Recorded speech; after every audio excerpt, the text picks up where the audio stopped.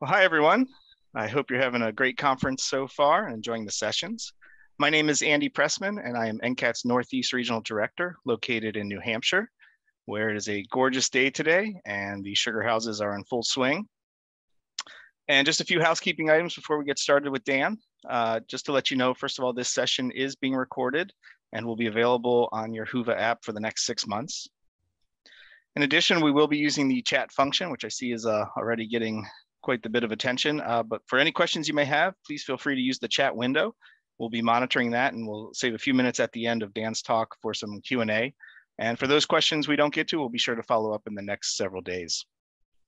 For those of you who are looking to get CEU credits, there will be a QR code on the screen with the last three minutes of the talk today. And so you can take a picture of that and submit for your credits as well.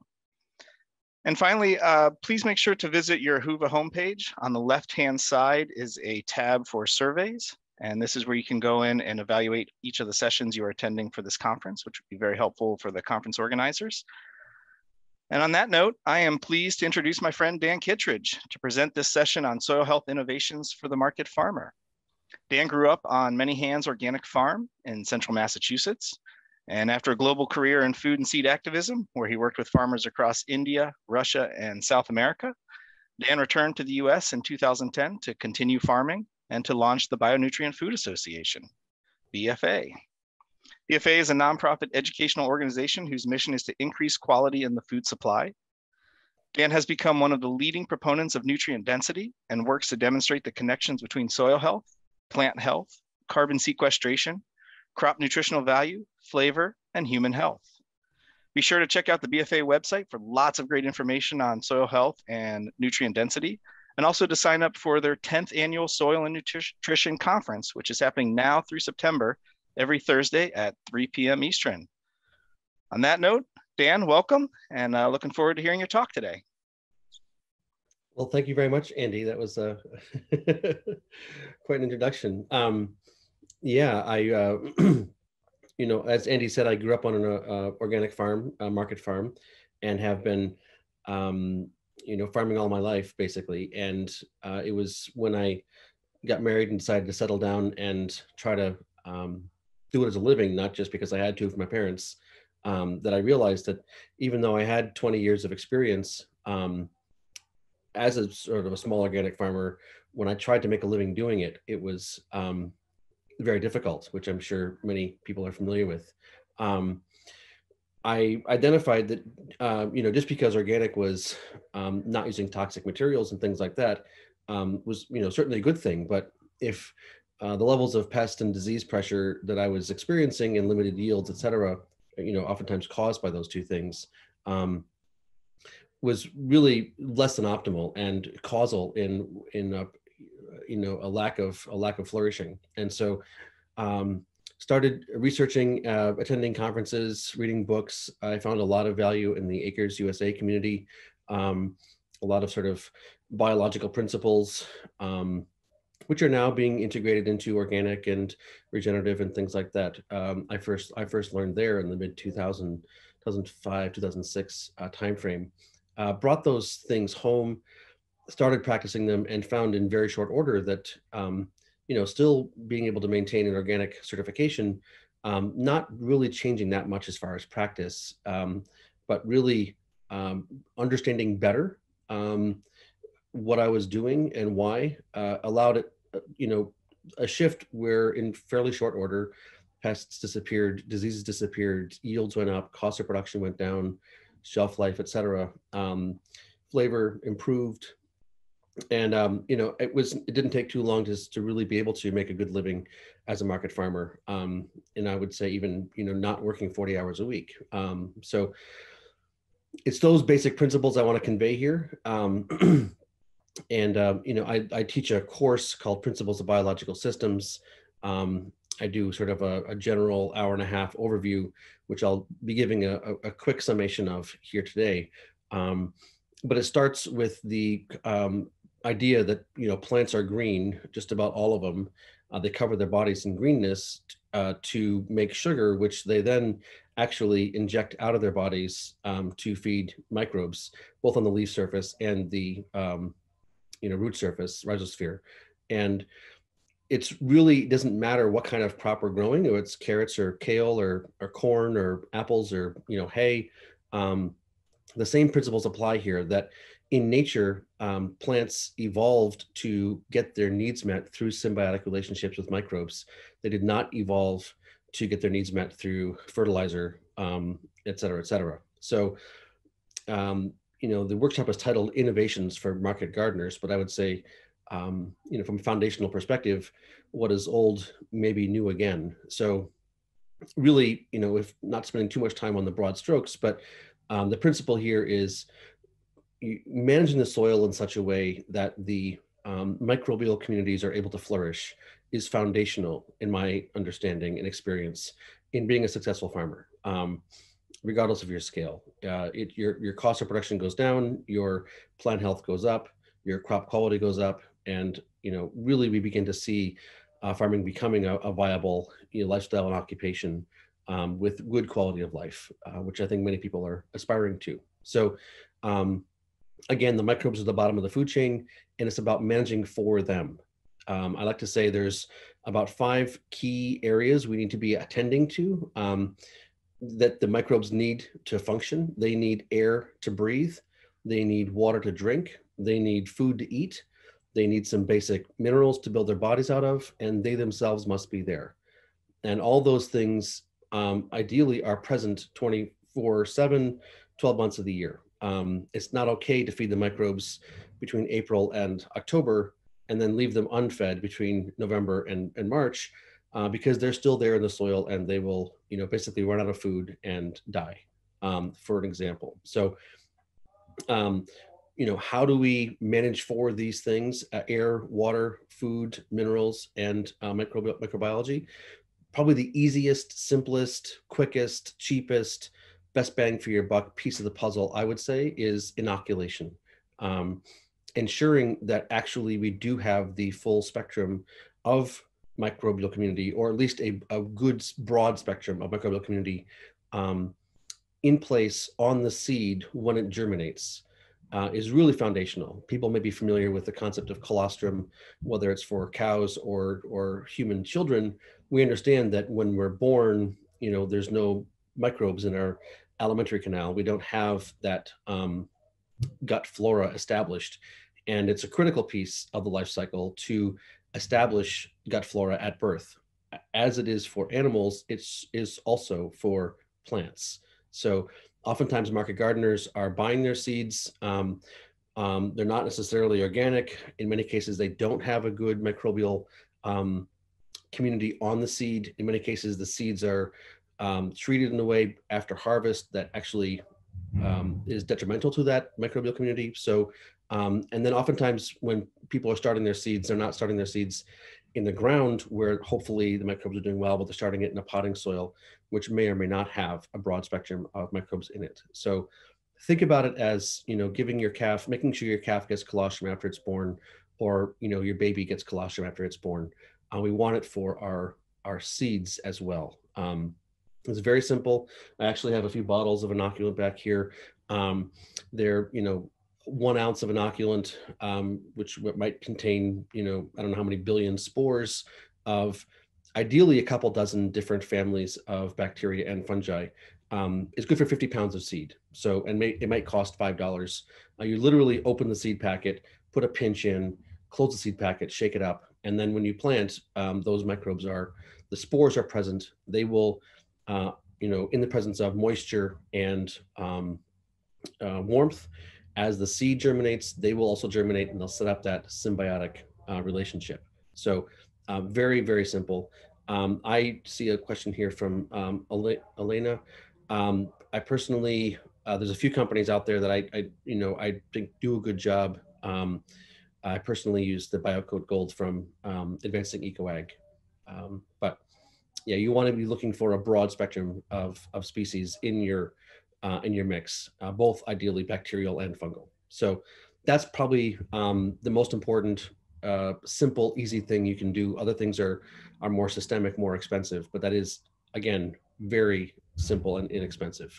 Um, so uh, we can go to aeration. Uh, here in, in New England, uh, we're I think we're hitting 50 today for the first time in a number of months, and the um, you know snow is starting to melt. Maybe by the end of the week, it'll actually we'll be actually able to see uh, see the ground or see the sod. Um, if you go out and look out into your field, I've had this experience this time of year many times, um, checking to see the garlic uh, when it comes up, and um, oftentimes when you miss when you um, when you plant garlic in the fall, you mulch it. And in some cases, you know, where the garlic patch is, you know, adjacent to that was, you know, carrots pulled in the fall or something else and it was left bare. Um, so when the when the snow melts and you go out and check this, check the garlic, um, ground thaws obviously, um, and you reach down, there'll be a nice, um, you know, pile of layer of worm castings, and you can reach your hand down into the soil and pick up a handful of it and smell it. Um, and directly adjacent where the soil was bare over the winter, um, it'll be hard and cracked oftentimes in April. Um, it's you know it's a fire sign month, and we don't oftentimes get a lot of rain in April. Uh, but you'll see that you know two soils directly adjacent to each other. One had mulch on it, one didn't. One is loose and aromatic, and the other one is actually more like dirt. So um, you know keeping the soils aerated um, really is a function of maintaining life in the soil and maintaining life in the soil is a function of, in among other things, keeping the soil life fed. Um, so I like to say, you know, um, I'd like to see my soil um, no more than, you know, uh, two weeks out of the 52 months of the uh, 52 weeks of the year. Uh, at some points, perhaps when I'm transferring from one crop to another, uh, et cetera, there may be a few days of bare soil. But in general, I'd like to see my soil covered as much as possible. And that would count even now if you've got snow on the ground if the snow melts, is it bare or not? Um, cover crops are obviously um, being brought forth as an extraordinarily powerful technique. Um, you can oftentimes plant your cover crops maybe in the end of August or September, depending on your climate zone, um, as an understory underneath your tomatoes or your peppers or your eggplants, um, your kale, your chard. There's no reason to wait until the end of the year when the crops are done to put the cover crops in unless of course you've got black plastic, which would be making it difficult. But ideally you want to have a gentle transition from your annual crop, which is your money maker, um, to a cover crop system or maintain soil cover through the fall, through the winter. Um, if you can get those cover crops in a little bit earlier, they'll establish and grow taller and be functionally much more beneficial for the microbes. So whether it's mulch or or cover crops, really think about um, maintaining cover on your soil um, as much as absolutely possible. That will keep the soil fed that will keep it aerated. Um, there's a lot of talk about tillage these days and minimal till or no till or zone till. Um, in many cases, we really need to be tilling our soils because they're tight and they're tight because they're dirt and they're dirt because they were kept bare for some period of time um, that caused that underlying imbalance to occur. So um, keeping the soil fed really, I think to a large degree is foundational in keeping it aerated. Um, so those are, we got two, uh, two, two for one there. Um, we got the microbes, we've got the feeding, and we've got the uh, aeration. Now, hydration is another key piece of this puzzle. Um, I grew up on a on a farm that was relatively, you know, lowland, um, you know, swampy at certain times of the year. But if it doesn't rain for for four weeks or six weeks, um, if you are unable to maintain hydration um, in the soil, that really does uh, a, a, a, real number on on the microbes. Think about a chicken or a cow and what would happen if they weren't watered for a week um, or even a cat or dog um, when you're uh, and it doesn't rain and you don't have infrastructure for maintaining hydration uh, it doesn't take long after that soil dries out for real system collapse to occur um, and i always like to mention as well that you know when I'm walking through a field i don't want to just look under the stem at the drip tape perhaps that you have under the stem of the tomato, I want to look out 12 inches or out 18 inches. I want the entire soil profile to maintain moisture. Um, you may be able to keep the plant watered, but if you don't keep the soil moist, then anywhere where the microbes are, you know, unable to access water, they'll shut down, and it's them that the plants evolve to be fed by. And so, if you're keeping the plant watered, but you're not keeping the soil moist, um, you really have a situation where the plant is unable to get fed as it has evolved to. And in many cases, if you think about again, a, maybe a human or an animal metaphor, um, you know, we know about women when they're pregnant, uh, if they don't get enough calcium in their bones, they will, you know, their their body is is you know has prioritized taking the calcium out of their bones and putting it into their into their baby. Um, tomato plants do exactly the same thing. Peppers, eggplant, squash, they all do it.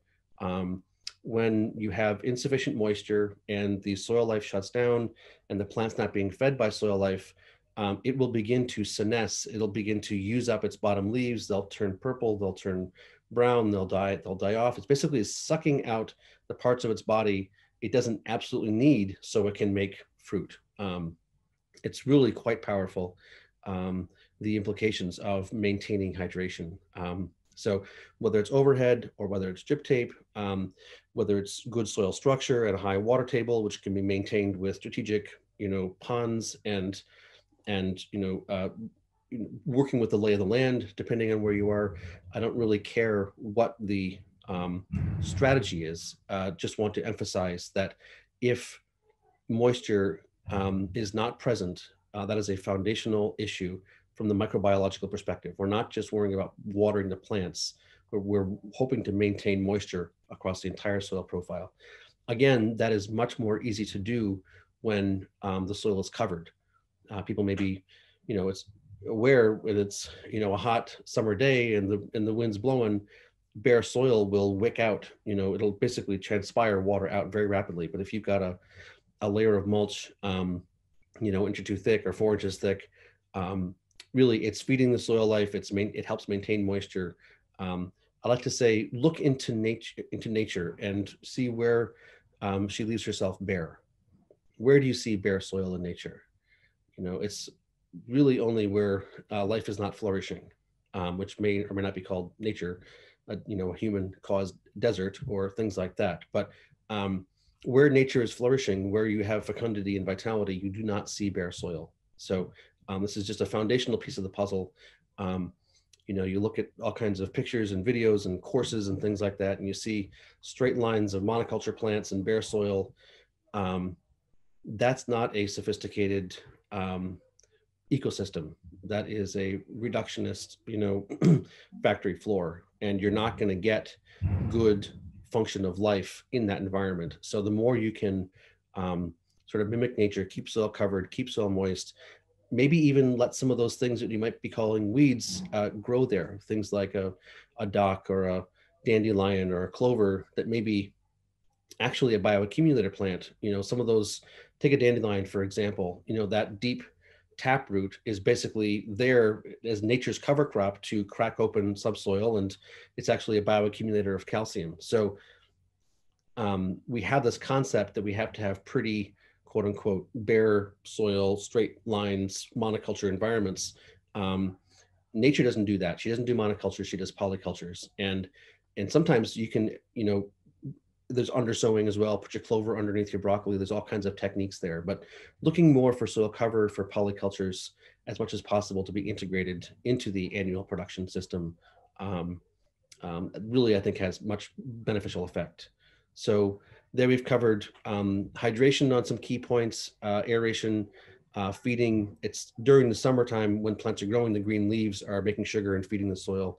I talked about that when there's, you know, when it's too cold out, when the ground's frozen, it's the dead plant material, which is actually keeping the soil life fed. So you want to be always having sufficient levels of those things. Um, I will oftentimes, when I put my tomatoes in or kale or whatever I'm transplanting in, um, I'll mulch it immediately after after planting. So from bed prep to planting to, to mulching, um, we really don't have much time at all when the soil is bare. Um, and that does really beneficially affect uh, the overall system the final the final piece I wanted to talk about was um, uh, minerals. This is a piece that I think um, has been um, probably not emphasized as much as it should. Um, we understand that um, biological systems have these things. We'll just use the example of enzymes. Enzymes are used to take amino acids and build them into proteins, to um, take carbohydrates and build them into sugars, to, I mean, any and all process of, of metabolism, of growth, et cetera, requires these enzymes. They're basically sockets and wrenches that put things together, take things apart, if you can think of them that way.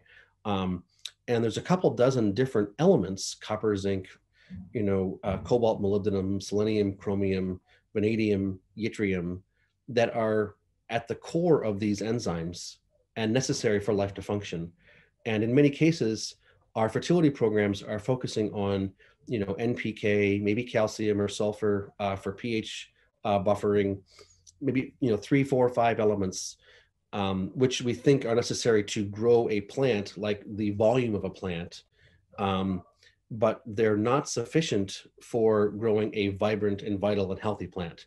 Um, some of those plant defense uh, hormones, compounds we call antioxidants or polyphenols, things like that, uh, terpenoids, alkaloids, those things that correlate with flavor, um, that correlate with pest and disease resistance, uh, that correlate with nutritional value, are only built uh, through some of these more sophisticated enzyme systems. And so we have an agriculture which has been focused on volume, not on quality. Um, and uh, as I understand it, you know, a, a broad spectrum of of different elements is necessary for a biological system to flourish. And so I do recommend um, um, mineral balancing. Um, you know, the Albrecht technique uh, developed by Dr. William Albrecht at the University of Missouri in the in the 30s and the 40s um, has a lot to offer. Um, and you know, ideally, we have uh, a well-established plant um, ecosystem where we're able to pull things up from the subsoil. Um, but if you don't, you really your top six inches or or thereabouts, the the aerobic zone, uh, the root zone is where the plant needs to be getting everything from. So if you don't have good polycultures established, um, in many cases you don't have that sufficient spectrum of elements in that in that top zone. So um, you know a a, a classic um, agronomy soil test plus ideally perhaps a deep soil core going down two or three feet into the subsoil to see what is in the top you know few inches and then what may have leached down. Um, here in new england uh, even though we had glaciation you know only 10,000 years ago um, we do get 30 40 50 inches of rain a year depending on the year and over 10,000 years and a bunch of fairly extractive agriculture for the past you know 300 years uh, a lot of the critical elements have leached out of the topsoil and they're down in the subsoil or or or no longer present. So um, cobalt, molybdenum, um, sulfur, copper, zinc, manganese. There's a few of these elements that are fairly typical. Uh, people maybe maybe have heard of, and addressing them I think is is quite important. Um, you can either do that directly through copper sulfate and zinc sulfate, boric acid, you know things like that, or you can do it through uh, more broad spectrum amendments. Uh, I'm a big fan of uh, rock dust and sea salt. I think, um, you know, from a systemic standpoint, we should be able to cycle all of our fertility on our farm. We shouldn't need to be bringing things in from off uh, off farm. Um, you know, besides perhaps some cover crop seed and and and inoculants. Uh, after an initial remineralization. So perhaps initially we do need to be bringing things onto our properties to help address those underlying deficiencies. If you look at some areas of the of the country and the world, sort of more of the equatorial zone where um, we haven't had glaciation for millennia. Um, you know, some of those soils are very, very weak in their in their mineral spectrum, and so addressing them systemically through a material like uh, rock dust, basalts, um, generally the volcanic materials, uh, rocks have a, a, better spectrum of elements in them, um, and you know, we have basically all the continents are made up of rock and there's wherever you've got roads, you've got quarries, wherever you got quarries, you've got a waste product called the crusher dust or the, or the float, um, which can oftentimes be accessed for $2 a ton or $5 a ton, very, very inexpensive. Um, so a systemic remineralization from um, ideally natural uh, local sources, um, you know, I would recommend uh, as, I mean, sea minerals as well um, you know, what is it? 65% of the planet is covered by ocean. Um, you know, I recommend generally something in the order of 75 pounds per acre of sea salt um, as a prophylactic uh, broad spectrum mineral amendment. Uh, sea minerals, sea salt does have 92 different elements in it, a full, a full spectrum of elements necessary for the um, core, you know, enzyme systems to function. So between between your rock dust and your sea salt, that's the sort of the the low tech um, natural materials strategy, or you can go the um, the, the copper sulfate, zinc sulfate, um, gypsum, elemental sulfur, boric acid, those kinds of materials, which are are marketed and have um, generally higher levels of this of targeted targeted elements. So um, broadly, those are the five things that I like to uh, guide people to attend themselves to uh, when it comes to sort of working with nature. Um, it's really about creating a dynamic where the bottom of the food chain, the microbial um, community has access to everything it needs at all points in time to maintain a high level of function. Um, and minerals, those um, microbes, the broad spectrum of species, they themselves, uh, air, water, and food. I really do find in a lot of operations, um, if you can identify which are the limiting factors on your farm and begin to address them systemically, um, you know, overall system function does radically improve um, if you can ensure that those things are present at all points in time. Uh, there's many more layers of nuance. We can talk about seed size and, you know, epigenetics and, um, you know, the, the, you know, time of transplant and soil temperature. There's a bunch of other subtleties which are also quite um, exciting that we may not have enough time to get into today, but I wanted to make sure I covered those, those five pieces um, uh, for sure. So Andy, that's those are my core points. Anything you think I should address or questions that have come up here in the chat? I haven't been watching. Yeah, thanks, Dan. We have a few questions we can get started with and uh, see where it takes us. Uh, one question is on your thoughts on vermicompost as an inoculant. Um, vermicompost as an inoculant, uh, sure. Or if you're making your own potting soil, just as an ingredient in your potting soil, would functionally accomplish that objective. Yeah. Um, you know, uh, as I mean, compost is a is a much broader conversation. There's great compost, and there's stuff that you really shouldn't be using. Um, vermicompost usually the if the worms are are able to function, what there comes out their rear end is in pretty good shape. Um, so you can um, you know create a dynamic with worm tea where it can go anaerobic and you can mess it up a little bit, but in general, good stuff. Okay, and uh, this question uh, you touched on, but I'll just leave uh, an opportunity if there's anything you want to add. But the question is, uh, would seaweed and kelp be a good source for minerals? Ooh, um, I don't think so. I think that, I mean, would they be a good source? Yes, but at the level that we would need to address mineral deficiencies, we would basically need to be harvesting a lot of the kelp out of the ocean, which is already there's not enough of. It's a very powerful um, carbon sequester. It's a wonderful um, ecosystem, um, you know, for the for, for the fish and the baby fish and the whole the whole system to function well. So I don't really advocate the use of kelp that much. Um, if we can understand that just because of that, it, it is a, a resource which is relatively limited. Um, a, and oftentimes it's something you have to purchase, which I'm generally philosophically opposed to uh, as a farmer if I can find a local source of something just as good, I'd rather use that. Uh, think about the the kelp as a a viney, rapidly growing plant. It's full of these growth hormones. That's part of why it's so wonderful. Um, I mean, it, I'll just say, if you are living close to the ocean and the storm comes through and there's kelp laying on the laying on the beach, I would say that's great. But buying it in bottles at, in large quantities, I wouldn't recommend. But the point is, as a viney plant, rapidly growing, um, it is think of think of uh, you know down south you've got kudzu. Um, I'm not sure up up here we've got uh, Jap- Japanese knotweed. We've got um, bittersweet. There are some what are called invasive plants, which are actually wonderful mineral bioaccumulators that also you know are you know sometimes people consider them to be a problem. Um, that are are also full of those growth hormones and are really quite quite vibrant, vital things. So if you can harvest those from your environment and make teas out of them, um, you know, quite quite uh, beneficial things will occur. So, um, yeah. Okay, and here's a question. Um, do you rely on frequent soil tests to evaluate mineral balancing, or are you looking more at the plant needs for amendments? Um, as I said, initial soil tests I think are valuable, and once you've addressed things broadly, then it would be the plant that you would be referring to for guidance. Yeah. Um, yeah. Okay, and I saw Linda Coffey, one of our livestock specialists, ATTRA, um, had a question about mineralization and it being too toxic. Um, she refers to that as could happen with livestock. Is that the same with plants? Um, well, certainly some of these uh, soluble salts, like you know boron or um, you know copper, can be applied at quantities that are too high. Um, generally, if you've got a reasonable agronomist, um, they wouldn't be recommending those kinds of concentrations.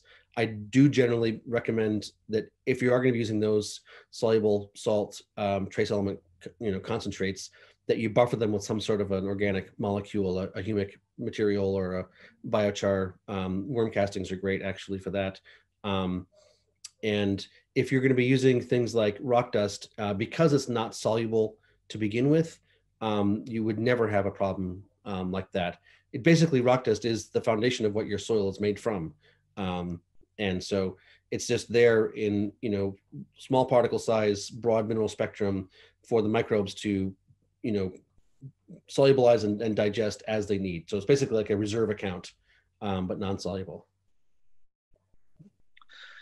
Thank you. And here's a question uh, from Devana, sort of looking at the French intensive system. Um, she's wondering about your perspective on using horse manure for fertility. Um, you know, I'm generally okay with people using manure. I don't use manure. I don't use compost. I don't use, I don't use nitrogen. Uh, that's one of my, I've got a few rules on my farm. One is never kill an insect. One is never kill a disease. And the third one is never add nitrogen. Um, you know, I consider that, you know, th- was it 78% of the atmosphere is nitrogen of all the trees in the forest, you know, most of whom are not legumes. Nobody's generally adding nitrogen fertilizer there. We have, you know, plenty of of nitrogen fixing microbes that have symbiotic relationships with every single family of crop plants. We've known this since the 70s.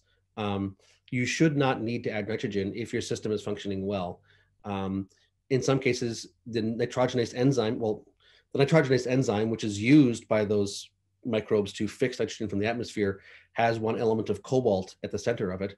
So if you don't have sufficient cobalt levels, then your nitrogen fixation process may be, um, oh, sorry, that's molybdenum. Um, nitrogenase enzyme is molybdenum. Um, so if you don't have sufficient molybdenum levels, then that nitrogen fixation process on your farm may not work. But that can be addressed through, you know, a couple actual pounds of molybdenum per acre. It's not a large, large, large amendment. Um, so um, I also consider that you know a healthy soil has high levels of of uh, earthworms in it. I think it's something like uh, 15 earthworms per square yard equals. Uh, I think it's 40,000 pounds of earthworm castings per acre per year. So um, I would say I'm getting 20 tons of amazing animal manure, comp, you know, deposited on my soil through the year by the by the animals that are there. Um, so certainly you can you can bring in those kinds of materials. Uh, sometimes what the horses are fed or the bedding that the horses are using has you know heavy duty um, toxins in it, so you want to be careful about that. Um, in general, my suggestion is you know, the more you're working with nature, the less you need to be bringing in. And Dan, that's sort of bringing in some more questions regarding the use of animal manures and or as compost. Um, so yeah. there's a couple questions sort of relating more towards, do you have a preference of one type of animal manure as more desirable than, than others? Um, again, I don't use animal manures or compost um, as a general, you know, I, I don't find it necessary.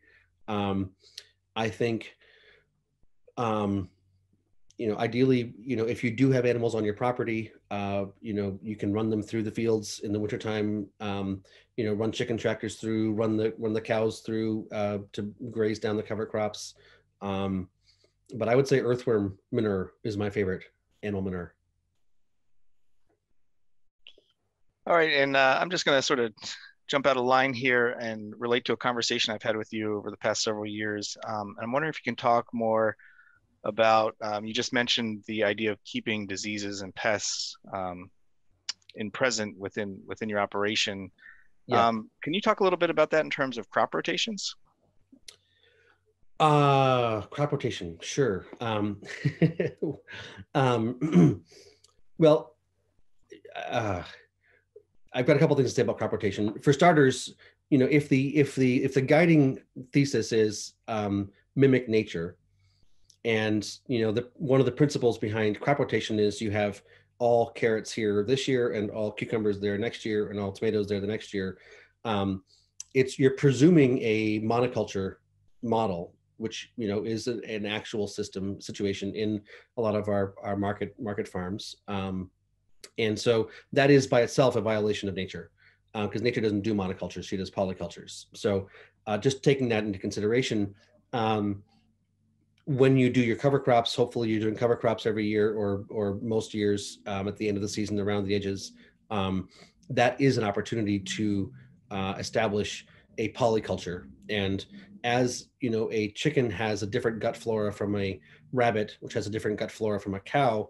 Um, a, a daikon radish has a different gut flora than a um, a cucumber does than a tomato does. And so the broader the spectrum of species and families of plants you've got growing in a in a region in a you know in a reasonable amount of space, the broader the spectrum of microbes. So you really do want to, as much as possible, have that that breadth of of different families of plants, which you can accomplish through cover crops. Um, so presuming you are doing cover crops, you know, and you are maintaining that that good level of biological activity, um, what I like to say is, would it make sense as a farmer for you to give um, colostrum from a, a, rabbit to a calf? Um, you know, I think a lot of people would say, no, it doesn't make sense.